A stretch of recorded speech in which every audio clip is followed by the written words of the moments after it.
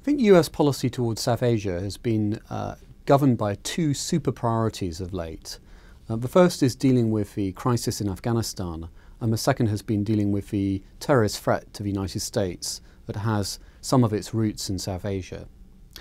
There is a broader policy vision for South Asia as well, and this has been the Obama administration's focus on the New Silk Road, thinking about how to better connect the countries of South Asia with each other and right through to Southeast Asia and up to Central Asia. But this is very much a vision anchored in economics. It's anchored in the way in which trade can potentially transform the region. I would argue that some of the policy communities dealing with South Asia have been relatively siloed alongside that. So the terrorism people don't necessarily really understand the India people well, and the India people may not necessarily understand the Afghanistan people. And those dealing with China are not necessarily connected in the ways that they should be with the people dealing with South Asia.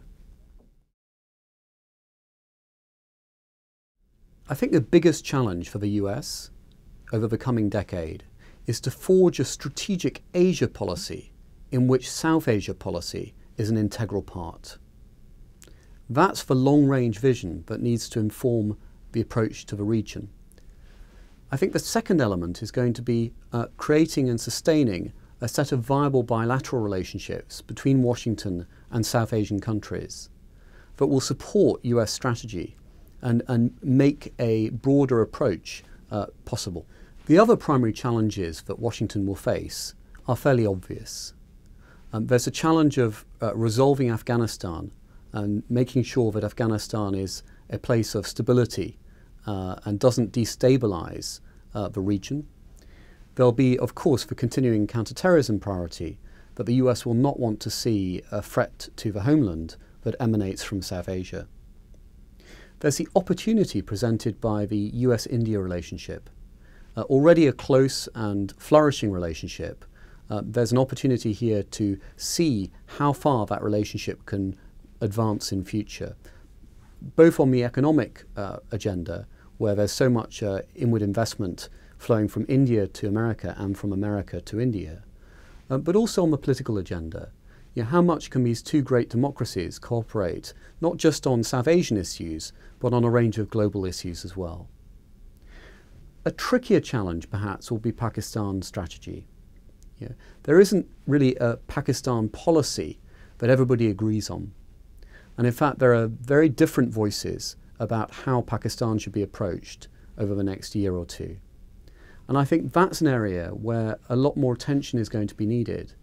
Not to then uh, reconnect or rehyphenate India and Pakistan, for example, or hyphenate Pakistan with Afghanistan, but to think in a clear headed way about what US interests in Pakistan are and how they can be advanced both with the Pakistanis and with other partners as well.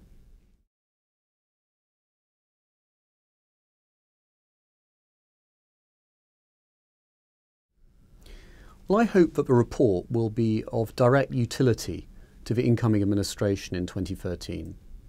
I'm not going to pretend that a report like this can transform policymaking or is necessarily going to be the first document that an incoming uh, Secretary of State or Assistant Secretary of State will reach for on their desk.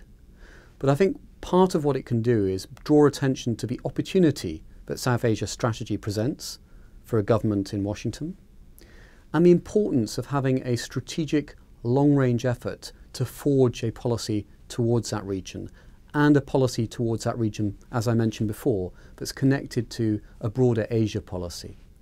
There are also some very specific recommendations that the report will make. Um, some are almost bureaucratic. It's how can you enhance the capacity for strategic policy making in the uh, geographic bureau of the State Department.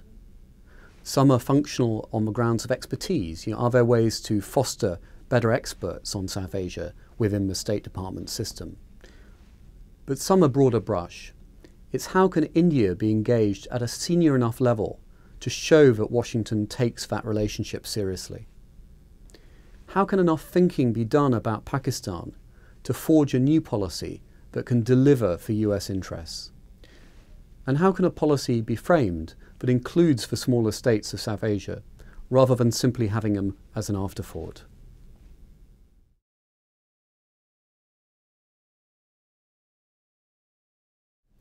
There have been other reports on US policy towards South Asia, and many of them are excellent. I think what sets this report apart is the way in which it delves back to look forward. Um, we've conducted over 80 interviews with a range of alumni of South Asia policy-making roles in the US government. Dozens of former ambassadors, former White House leads on South Asia, former deputy under assistant and deputy assistant secretaries of state.